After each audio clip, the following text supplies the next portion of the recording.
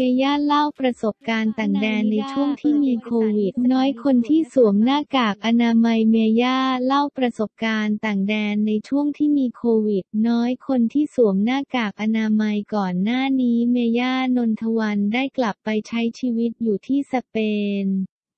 บ้านสามีของเธอหลังจากที่ก่อนหน้านี้เมย่ายอมรับว่ามีปัญหากับสามี ดูเหมือนเรื่องราวชีวิตครอบครัวจะเคลียร์กันลงตัว เมย่าจึงเดินทางกลับไปอยู่และล่าสุดเจ้าตัวก็ได้กลับมาที่เมืองไทยอีกครั้ง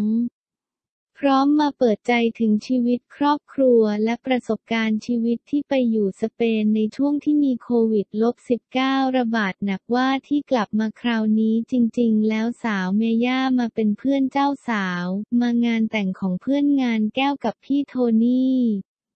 ตั้งใจว่าถ้าแก้วยังไม่แต่งช่วงนี้ ก็จะอยู่ช่วงคริสต์มาสกับพ่อเขาก่อน ให้พ่อลูกเขาได้อยู่ด้วยกัน ซึ่งช่วงนี้คุณพ่อติดลูกชายมาก ตอนกลับมาคือขอโทรคุยทุกวันขอวิดีโอคอลบางทีลูกก็หลับแล้ว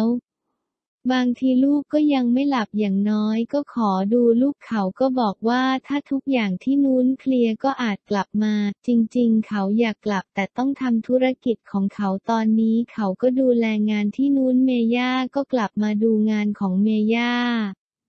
อยู่ที่นั่นก็พยายามพาลูกชายทำกิจกรรม เช่นเดินเขาหากิจกรรมที่หลีกเลี่ยงคนเยอะๆ เพราะที่นั่นโควิดก็หนักเหมือนกัน ซึ่งเมย่ายังบอกอีกว่าจากบ้านเราคือทุกคนป้องกัน 100%เปอร์เซ็นต์ แต่ไปที่นั่นน้อยมากที่คนจะใส่หน้ากากอนามัย เมย่าลงซูริกก่อนสัก 40%ที่ใส่พอไปถึงสเปนเราก็ดูข้างทางตายแล้วเอาไงดีมีแค่ 10%จะออกไปข้างนอกก็คงลำบากก็ต้องวางแผนใหม่ โอเค ถ้าคนยังใช้ชีวิตแบบนี้เราก็อยู่ในความเสี่ยงเกินไปถึงแม้เราจะอยู่บนเกาะก็จริง แล้วบ้านเราก็ไม่ได้อยู่ใกล้ใคร เราก็ต้องวางแผนว่าวันนี้เราต้องไปแถวนี้ พื่อนหนูมีชวนเราขึ้นเรือไปเที่ยวกันอะไรอย่างนี้ เราก็ถามเลยไปกี่คนเขาบอกไม่กี่คนพอหนูดูในคลิปโอ้โห เป็นสิบคนอัพหนูก็เลยหนูไม่ได้แบบนั้นนะหนูกลัวเขาบอกว่ากลัวอะไรโควิดฟรี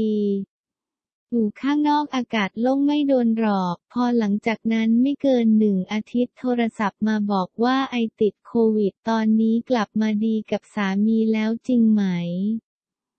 ก็จริงค่ะคือมันเป็นช่วงเวลาช่วงเวลานั้น เรารู้สึกว่าต้องทำแบบนี้ เพราะมันเป็นสิ่งที่ดีที่สุดสำหรับทั้งสองคนได้มองตัวเองใหม่ว่าจริง ๆ เรายังต้องการกันอยู่ไหมหรือว่าต้องการอะไร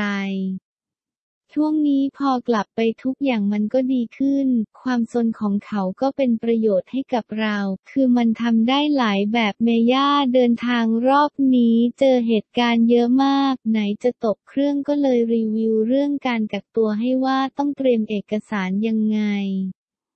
ล่าสุดเป็นเหมือนซิรานีเราก็ให้คำแนะนำตามความคิดเรา ลูกน่ารักตรงไหน เวลาเขาหลับข้าหนูรู้สึกว่าเวลาเขาหลับเขาเหมือนเทพบุตรรู้สึกว่าลูกเราเหรอวะ แล้วเวลาที่เขาฟังเราเขาจะน่ารักแต่เวลาที่เขาดื้อก็ลูกพ่อ